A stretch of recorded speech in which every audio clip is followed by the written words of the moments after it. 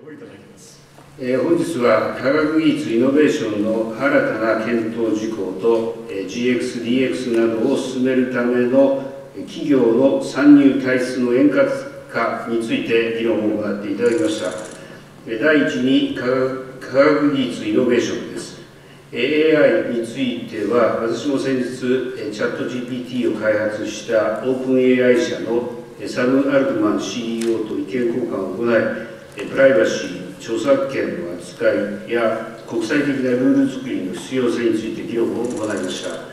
えー生成 AI は、活用の仕方によって人手不足への対応などの労働生産性の向上が期待されるものです。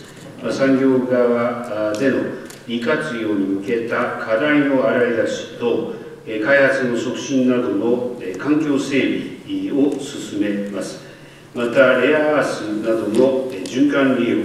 えサーキュラーエコノミーについては、経済安全保障上の観点も踏まえ、取り組みを進めます。第2に、企業の参入退出の円滑化です。え我が国の開廃業率は、両方とも諸外国に比べて低い水準水準で推移しています。参入については、スタートアップ育成5カ年計画の実行に着実に取り組むとともに、人材獲得に有効なストックオプション制度の法制の法制の早期検討を法務大臣を中心にお願いをします。また、企業経営者が事業不振の際に早い段階から M&A、事業再構築、廃業などの幅広い選択肢について、専門家に相談でき、意思決定できる体制を官民で全国的に整備をし、支援策を講じるなど、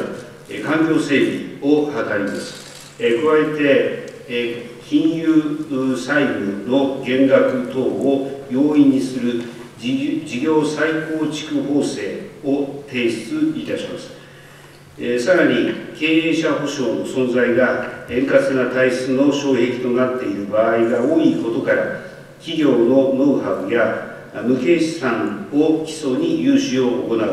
いわゆる事業成長担保融資の拡大を進めます。